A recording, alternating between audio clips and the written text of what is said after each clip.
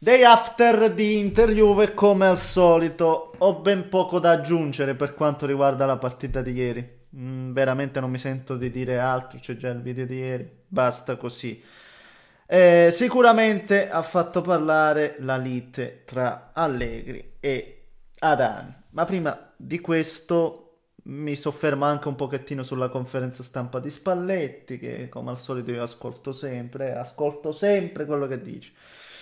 E ha messo un po' le mani avanti, eh, ma io i cambi li sbaglio sempre. Quando gli chiedono per come mai ha sostituito Nangolan, sai, ogni tanto capita di sbagliare, mi perdonerà, fa il simpaticone. Io credo che alla fine lo sappia anche lui che spesso, spesso non ci legge una mazza. Non è che con questo voglio dire che Spalletti sia mediocre, Spalletti sia che poi si va sempre da un eccesso all'altro. No, è che giustamente è un allenatore meno ferrato da questo punto di vista. E ogni allenatore ha dei pro e dei contro, nessuno è perfetto, nessuno è, è eccelso, ci mancherebbe.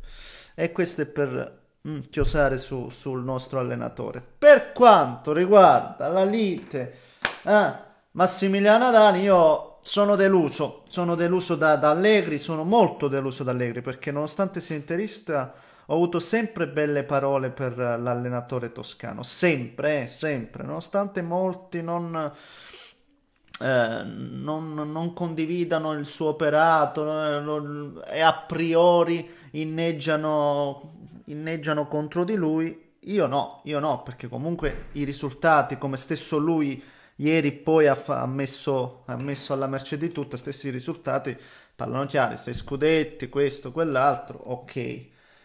Però uno deve anche sapere accettare le critiche, ragazzi miei. Eh, deve sapere accettare le critiche e non puoi andare a dire in giro: no, ma tu non capisci niente di calcio. Eh, no, ti fanno un'accusa: no, ma tu non capisci niente di calcio. Ma che stai dicendo, Allegri? Ma cosa stai dicendo? Poi Adani, Adani non è che è l'ultimo arrivato, è comunque un giocatore che ha giocato in Serie A. Ha giocato nella stessa Inter un anno. non è che lo dici a me, ok, Neschio, in effetti io sono qua, sono un tifoso e l'ho sempre detto, sono un tifoso, ok, non è che capirò le dinamiche del rettangolo del gioco alla perfezione, assolutamente, posso, eh, sono cresciuto a pane e calcio, però giustamente le cose proprio tecniche non le posso mai apprendere, quelle le apprendi con la pratica, le apprendi stando lì, vivendo calcio proprio lì, eh, a contatto diretto però ad Adani dire che non capisci niente e c'è, c'è l'intervista no ma non capisce, fai, fate teori, teorici, tu non capisci di pallone. Ma che stai dicendo Allegri? Ma cosa stai dicendo? Cioè quello è comunque uno che, che ha giocato in Serie A, che ha giocato a calcio. Mm. Ma, ma stiamo scherzando? Eh, no, non, ma anche fosse, fosse vero, ma anche fosse vero non ti devi comportare così, non ti devi comportare così quando ci sono dei tifo, devi dare l'esempio, devi rappre- rappresenti la tua società, la tua squadra in quel momento.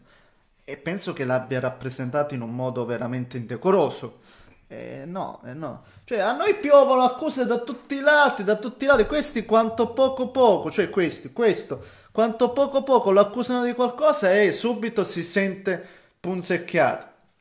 Eh, poi dice, ha detto cose che secondo me sono anche inesatte, no? Eh, volete il, il, gioco, il, gioco, il gioco spettacolare, basta mettere i terzini, basta mettere le ali ai terzini, fare queste cose strambe quando in verità non ha detto nulla di ciò Adani. E già ricordo all'epoca la lite dello Screzio, perché queste sono, cioè tra loro due c'è già un, un astio secondo me eh, molto acceso. Già ricordo lo Screzio ai tempi, mh, mm, sempre contro, non ricordo quale post fosse, sempre forse contro l'Inter forse sempre dopo la partita dell'Inter, non ricordo. Comunque diceva, eh, ha fatto l'esempio del basket che ci vogliono i giocatori forti, se non hai quelli fai poco. Eh, e cosa giustamente Adani gli, faceva, gli diceva che guarda che nel basket, pure che sei giocatore forte, comunque devi avere delle idee di gioco. Ed è vero, cioè le idee di gioco sono importantissime nel calcio, eh, assolutamente.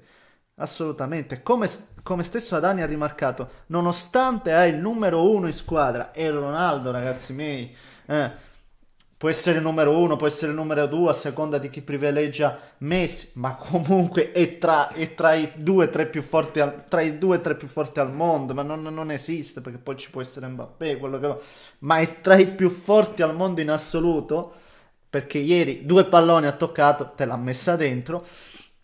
E, ehm, e quindi nonostante questo, vedi, tu comunque non ottieni risultati in campi europei. Ed è vero, cioè Ragazzi, poi parliamoci chiaro, io ho sempre difeso i risultati di, di Allegri, però ok, ehm, è vero che in Italia stradomina, ma in Italia ragazzi miei il livello l'abbiamo visto qual è, eh? il livello è imbarazzante, cioè oltre alla Juve non ci sono squadre che, si, che possono essere degne di nota, che possono essere chiamate squadre di calcio di, di vertice, cioè in Italia c'è solo una squadra di vertice, le altre sono squadre da, da metà classifica. Ragazzi, questa è la verità. Purtroppo è vero, purtroppo.